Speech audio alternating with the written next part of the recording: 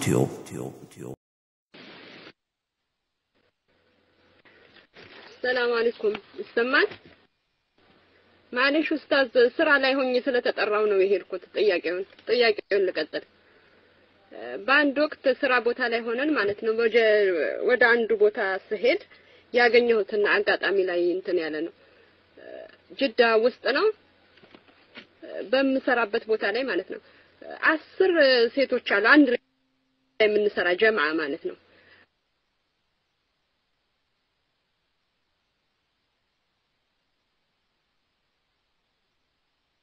አስሩም በአጋጣሚ ሳያቸው ሱረቱል የሱፍ ላይ ይቀራሉ።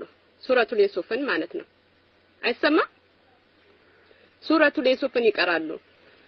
ሁሉ ነው ሱረቱል የሱፍን ሳይቀሩ አይውሉም። ያን ይህንን አጋጣሚ ለምንድን ነው እንደዛ እንትን የምትሉ ስላቸው ሱረቱል የሱፍ ላይ እኛ የተፈቱ ሴቶች ናቸው አብዛኞቹ፣ አንዳንዶቹ ደግሞ አላገቡም። ባል ያመጣላችኋል ሱረቱል የሱፍን ከቀራችሁ ብላቸው ይሄንን እንትን ይላሉ። ሁለተኛው ደግሞ ያን ሱረቱል የሱፍ ከጨረሱ በኋላ ኢንዶኔዚ ነች ይሄን የምትላቸው ዱዓው ደግሞ ምንድን ነው? ያን ሱረቱል የሱፍ አለጡል እንደጨረሱ አላህም እኔ ማውቀው ይሄንን ወደ መስጊድ ስንሄድ የምንቀራው ዱዓ ነው። እነሱ ግን ምንድን ነው የሚሉት? አላሁመ ጀዐልና ፊ ቀልቢ ኑራ ወፊ ሰሚኢ ኑራ ወፊ በሰሪ ኑራ አልሙ ይሄንን እንትን ዱዓዎች ይቀሩታል ማለት ነው እስከ መጨረሻ ያለውን ማለት ይሄንን ቀርተው ይሄን ምንድን ነው ያንን የፈለግነውን ሰው ለምን የምናገባውን ሰው ኑር ሆነን እንታየዋለን ብለን እንትን ብላን ይሄንን ሁልጊዜ እየከረሩ መስሪዎቹም ኢንዶኔዚዎቹም አብረው እንትን ይላሉ። እና አንዷን የሐላ አግኝቼበታለሁ ብላ በዚህ ይሄንን ምን አይነት እንትን ልስጣቸው? ያኒ ደሊል ሰጥቼ እንዲህ ነው እንዲህ ነው የምልበትን ይሄንን አስረዱኝ። ጀዛከላህ ሹክራን። ላይክ ፍሪ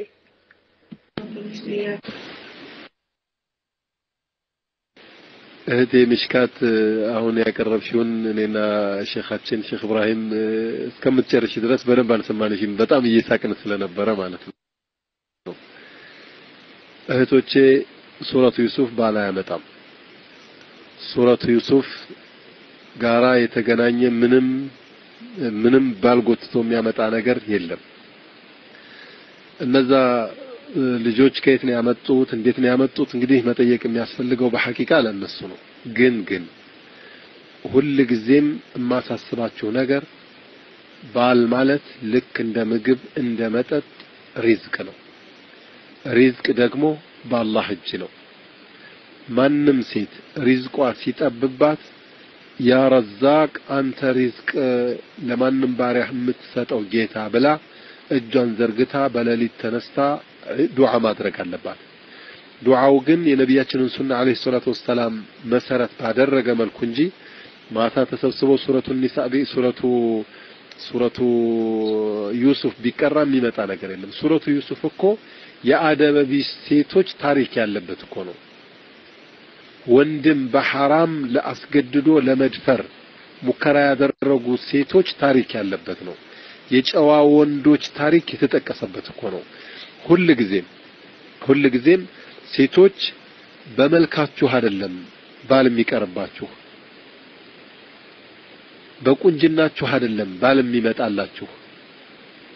ባል የአላህ ሪዝቅ ነው። አላህ ጎትቶ ያመጣዋል። እናንተ ግን ለአላህ መሆን ይኖርባችኋል። መጀመሪያ እንዴት ነው ለአላህ መሆን ማለት? የመጀመሪያው ለአላህ መሆን ማለት ዚና የሚባልን በቀጥታም በተዛዋሪም መተው አለባችሁ። ዚና የሰራች boyfriend ያላት ሴት በሐራም ትጻጻፍ፣ ትደዋወል፣ ትጠቃቀስ የነበረች ሴት አላህ ከሚቀጣባት እኔ ባይኔ ካየሁት ብዙ መቀጫዎች መካከል በጣም ቆንጆ ውበት እያላት የሚያጓጓ ገላና ሰውነት እያላት ወንዶቹ ሁሉ አትሆነንም ብለው እንዲያስቡ ያደርጓታል ያደርጋል አላህ። ስለዚህ እነዚህ ሴቶች ሱረቱ ዩሱፍን መቅራታቸው ሱረቱ ዩሱፍ እንደው በባል ጋራ እንደው ሲወራ እንኳን ሰምቼ አላውቅም። ضعيف በሆነ ሐዲስ እንኳን ሰምቼ አላውቅም። ባል ለሌላቸው እህቶቻችን በዚህ አጋጣሚ እንደው ዱንያ ውስጥ ትልቅ እርካታ ማለት በኢማን የሚወዱት ባል ጋራ መኖር ነውና የሚወዳቸውን የሚወዱትን የሚያከብራቸውን የሚያከብሩትን ባል አላህ ይስጣቸው። በቢድዓ አዲስ ፈጠራ በመፍጠር ባል አይመጣምና በነቢዩ ሱና አለይሂ ሰላቱ ወሰላም የሚያኖራቸው ሱረቱ ዩሱፍ ማስቀራት ሳይሆን ከሱረቱል ፋቲሃ አንስቶ እስከ ሱረቱል ናስ የሚያሳፍዛቸው ሌሊት ተነስተው እንዲሰግዱ የሚያግዛቸው አደበኛ ባል አላህ ይስጣቸው። ቀልባቸውን ወደ ዲን አላህ ይመልስላቸው።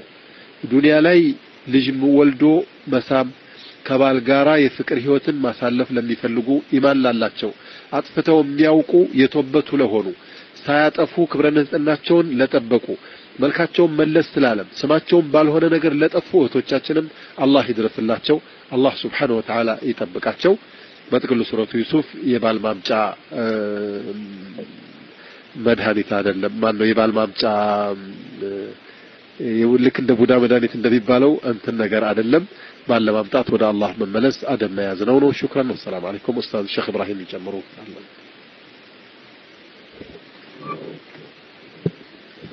አሰላሙ አለይኩም ወረህመቱላህ። ነገሩ እንግዲህ ተቋጭተዋል። ሼክ በሙሉ እንትን ነው የሰጡት። ሙሉ መመለስ ያለበት ተመልሰዋል።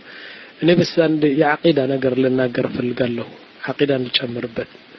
ሼክ ምንድን ነው ያሉት? ርዝቅና ጋብቻ አንድ ነው። እውነታቸው ነው። ናም ወላሂ አርዝቅ ወልአጀል ወዘዋጅ ይህ እነዚህ ሶስቱም ሌሎቹም በተለይ እነዚህ ሶስት በአላህ እጅ ናቸው። እኔ አንድ ምሳሌ ልስጣችሁ። እኔ ኢብራሂም ስራጅ ነው ስሜ አይደለም? ጠይብ አባቴ ስራጅ ነው። አሁን እንግዲህ አላህ ነው ከአባቴ ጀርባ ያወጣን እሱ ነው። ቆንጆ ጠይብ አሁን ልጠይቃችሁ። እናቴ እናቴ አባቴ መጥቶ ለቤተሰቦቿ እገሌም ትባል ሴት ስጡኝ አለ። እሺ የእናቴ ባለ ቤተሰቦች በሙሉ በአገር ያሉ በውጭ ያሉ ምን ያሉ በሙሉ በል ጨምርላቸው የዓለምን ሕዝብ በሙሉ ተሰብስበው ይህች ልጅ ላንተ አንሰጥም ቢሉ ይችላሉ? አሁን እኮ ነው የምላችሁ። አሁን አሁን እኔ ከተወለድኩበት ጀምሮ አሁን ነው የምጠይቃችሁ። አላህ ካላለው አልልም አይባልም። አሁን አላህ ካላለው ይሰጣሉ። አልፈዋል። ይህ ነገር ሳይጋቡ ነው እንደዚህ የሚባለው። አሁን ግን አሁን ቤተሰቦቿና የዓለም ህዝብ ቢሰበሰቡና ይህቺ ሴት እኮ አንሰጥህም ብለው ለአባቴ ሊከለክሉት ይችላሉ? ወላሂ ቱመ ወላሂ አይችሉም። ለምን? እኔ ከሁለታቸው መካከል መፈጠሬ ከሀምሳ ሺህ ዓመት በፊት ሰማይና መሬት ከመፈጠሩ በፊት ከሀምሳ ሺህ ዓመት በፊት ጽፈዋል አላህ። ኢብራሂም የሚባለው ከስራጅ ጀርባና ከሐሊማ የምትባለው እንትኑ እናት ይወጣል ተብሎ ተጽፈዋል።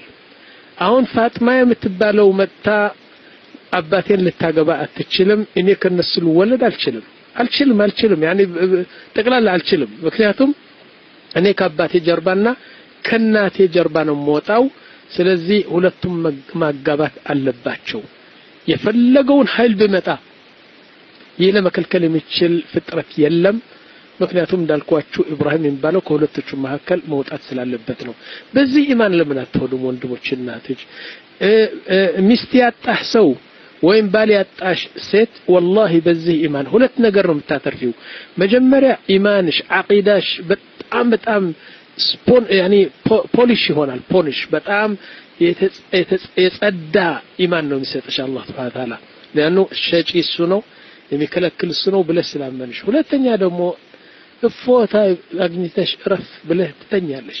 ኸላስ የኔ ባል አልመጣም፣ በቃ እንደዚህ በይ፣ የኔ ባል አልመጣም። ልክ እንደ ርዝቅና እንደ አጀል ስለሆነ ስላልመጣ የኔ ባል ገና ስላልመጣ ነው ብለሽ እረፍት አግኝ ነው የምልሽ ኢንሻአላህ። ስለዚህ እህቶች፣ በተለይ እህቶች በሐላል የሚገኝ ነገር በሐራም አትፈልጉት። ወንድሞችም ላ በሐላል የሚገኝ ነገር በሐራም አትፈልጉት ነው ምለው ማይክሪ